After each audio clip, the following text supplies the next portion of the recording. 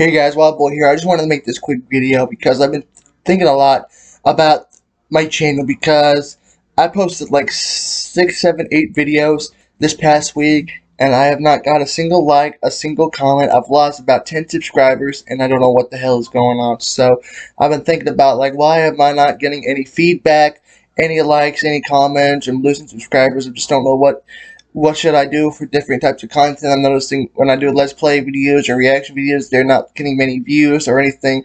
I'm losing a bunch of subscribers. I don't understand why. I haven't done anything wrong. I haven't said anything that pissed anybody off. I hope. I just don't understand. So I've been thinking about this for a while.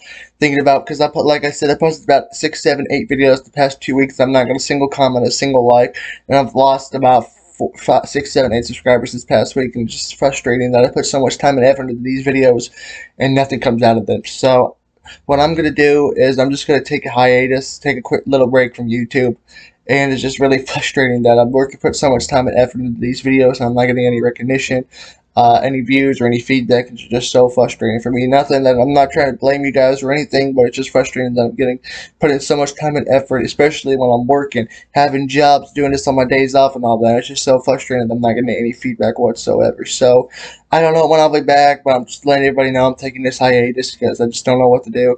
Um, if you do support me, thank you guys a lot. I'll be back. I just don't know when. Until then, see you guys next time. Take it easy.